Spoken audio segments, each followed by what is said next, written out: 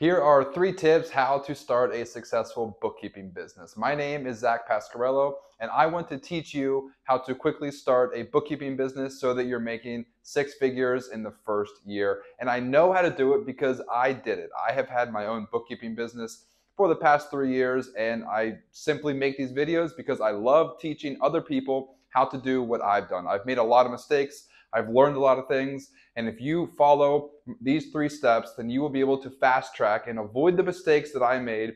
Focus on the things that I did really, really well so that you can grow your bookkeeping business.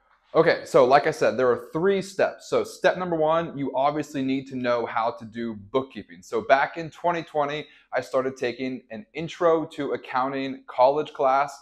I learned a little bit about accounting and then I wanted to get a bookkeeping or accounting job, but I had no experience. So the cool thing is, if you're just getting started or if you're thinking about getting started, you can start an online bookkeeping business with no experience.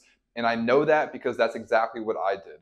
But if you have no experience, you need to learn bookkeeping. You need to learn the fundamentals of accounting. You have to understand debits and credits, balance sheet, income statement, assets, liabilities, equity, profit, loss, However, it's really not that difficult to get a firm understanding of the basics. And I want to caution you don't get so caught up on becoming a bookkeeping expert or an accounting master. Don't try to do that before you start your bookkeeping business because there are a ton of steps that you need to take to even get your first client. So become familiar with bookkeeping. However, simultaneously, while you're learning bookkeeping, while you're learning QuickBooks, then you can move on to steps two and three simultaneously. So keep that in mind while you're learning bookkeeping. You also need to learn QuickBooks because the majority of your clients are going to be using QuickBooks Online for their bookkeeping. So bookkeeping in and of itself, not terribly difficult. However, the QuickBooks software is actually pretty difficult to master. So you're going to want to spend a lot of time learning bookkeeping and also a lot of time focusing on learning specifically how to use the QuickBooks Online software. Now, all of this depends on how much time you have. So if you have a full-time job like I did, you probably only have one, maybe two, maybe three hours per day to devote to starting your bookkeeping business. If you don't have a full-time job and you're just jumping right into a bookkeeping business full-time and you're just getting started, you have 10 hours every single day to learn bookkeeping and then move on to steps one and two. So if you only have one to two hours per day, I would recommend maybe spend 10 to 20 minutes per day learning bookkeeping, learning QuickBooks. Now, also, if you're just getting started and you already have your first client, you can also learn QuickBooks while servicing your first client.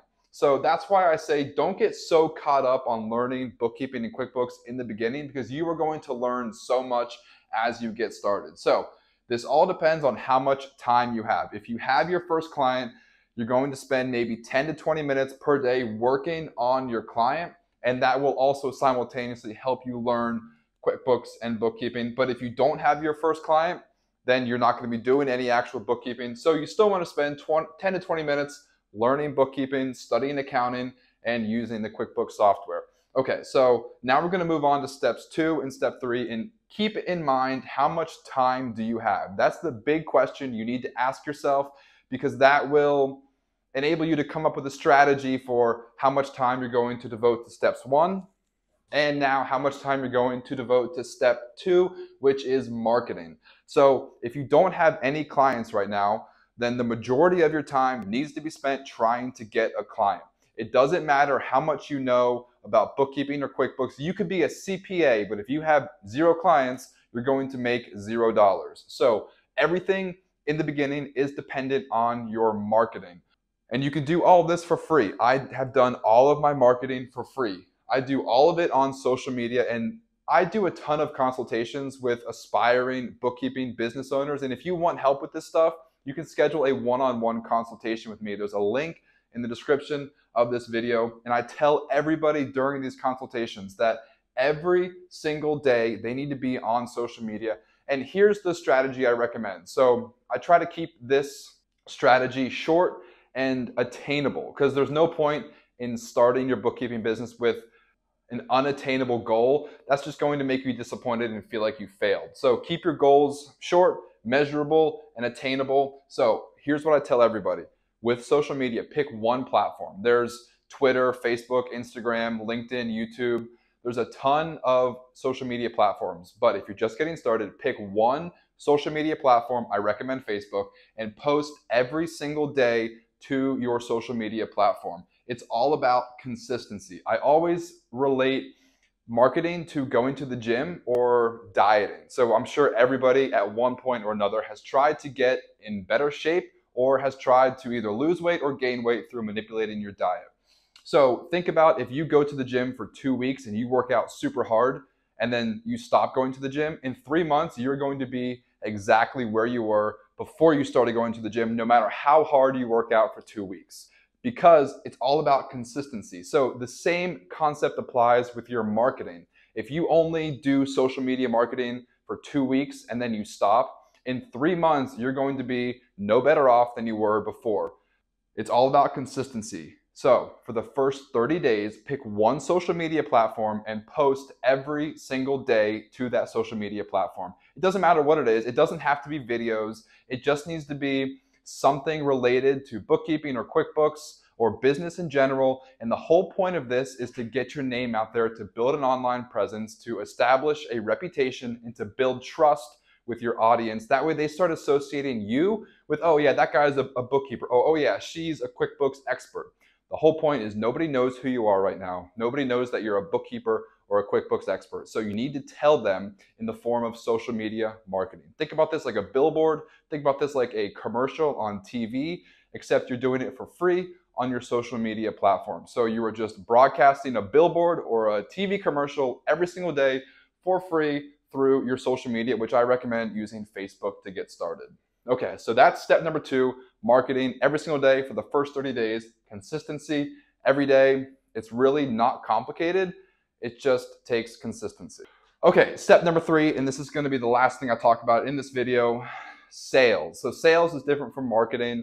Marketing is you're just kind of shouting to the world, like, hey, look at me, this is what I do.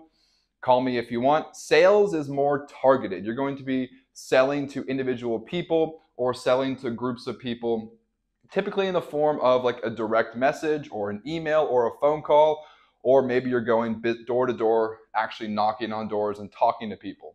So, with your social media, you don't need to drive around to businesses. You don't even need to call people. You don't need to email people. I would recommend start with Facebook and start sending messages to your prospective clients. Now, first of all, you need to find prospective clients, and you can do that a number of ways. And I'm not going to get into too many details on that, but you need to find business owners who are local to your geographical region. And I know you might offer virtual and remote bookkeeping services, but just getting started, people are more likely to trust you and more likely to hire you if they are close to your geographical region. So, in the beginning, just target people who are in your state or in your city and then connect with them on Facebook. I have written down here 50 times. So you should send 50 friend requests every single day to local business owners. And if that task seems too daunting for you, then starting a business probably is not going to be a good idea for you because this is going to be what it takes to get your first client. So 50 time 50 friend requests every single day for the first 30 days. And then once these people accept your friend request, you need to engage with your audience on Facebook. So I always compare, think about it this way you go to a networking event and you show up and you sit in the corner and don't talk to anybody. You going to that networking event is essentially useless because you're not actually networking. So you can show up, but you got to go a step further. You got to talk to people, you got to shake hands, you have to build relationships. So it's not enough to just go on Facebook and create a post and then sign off.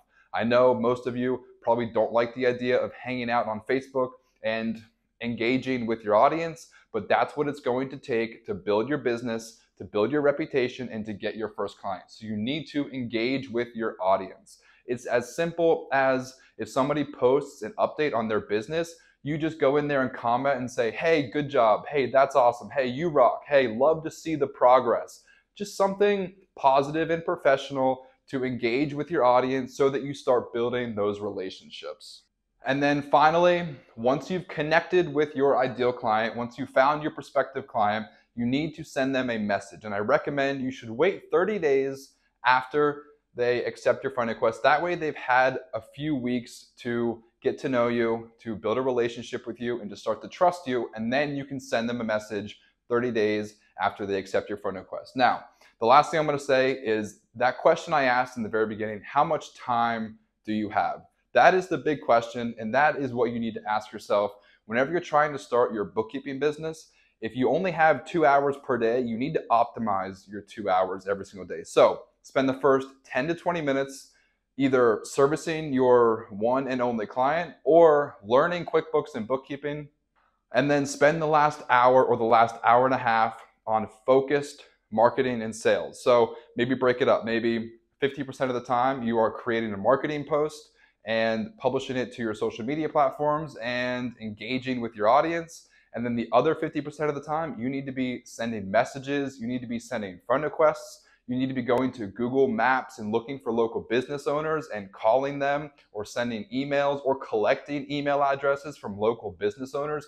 You need to be ruthless and relentless trying to grow your business. It's not enough to just learn QuickBooks and make a website and then sit back and watch TV and hope that somebody calls you. That's not going to work. Maybe one person will call you in the next 30 days, but you need to be ruthless and relentless with reaching out to people and creating marketing content, building relationships, learning more about bookkeeping and QuickBooks so that you can give out bigger and better advice on more social media platforms and produce more marketing content. All of this depends on how much time you have. And if you only have two hours, you can still do it because I did it three years ago. I still had a full time job whenever I started my bookkeeping business. So if you have a full time job, don't let that discourage you. You just need to be laser focused for the hour or the two hours every day that you devote to your business.